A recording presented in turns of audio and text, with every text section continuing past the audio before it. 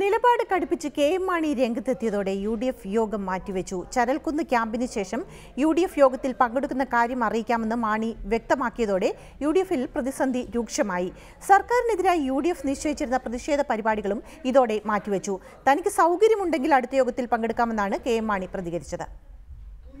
ഇന്നലത്തെ U D F യോഗത്തിൽ നിന്ന് വിട്ടുനിന്ന കെ മാണി തനിക്ക് കോൺഗ്രസിനോടുള്ള അതൃപ്തി പരസ്യമായി പ്രകടിപ്പിക്കുകയായിരുന്നു. ഉമ്മൻചാണ്ടിയും കുഞ്ഞാലിക്കുട്ടിയും അടക്കമുള്ള നേതാക്കൾ സമവായത്തിന് ശ്രമിച്ചിരുന്നെങ്കിലും താൻ പിന്നോട്ടില്ലെന്ന് വ്യക്തമാക്കുന്നതായിരുന്നു കെ മാണിയുടെ ഇന്നത്തെ വാക്കുകൾ. ചരൽക്കുന്നിൽ അടുത്ത മാസം ആറ് ഏഴ് തീയതികളിൽ നടക്കുന്ന ക്യാമ്പിന് ശേഷം യു യോഗത്തിൽ പങ്കെടുക്കുന്ന കാര്യം അറിയിക്കാമെന്നായിരുന്നു മാണിയുടെ പ്രതികരണം.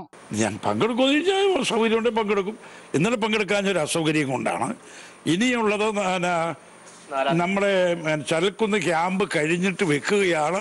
നല്ലത് എന്ന് പി പി തങ്കജനെ അറിയിച്ചിട്ടുണ്ട്. നോക്കട്ടെ മാണി നിലപാട് കടുപ്പിച്ചതോടെ അടുത്ത മാസം നാലിന് സർക്കാരിനെതിരെ സംഘടിപ്പിക്കാണ്ടിരുന്ന പ്രതിഷേധ പരിപാടിയും യു ഡി എഫ് യോഗവും നേതൃത്വം മാറ്റിവെച്ചു. അതേസമയം മുന്നണിയിൽ പ്രശ്നങ്ങളൊന്നും ഇല്ലെന്നായിരുന്നു രമേശ് ചെന്നിത്തലയും വി എം സുധീരനും പ്രതികരിച്ചത്.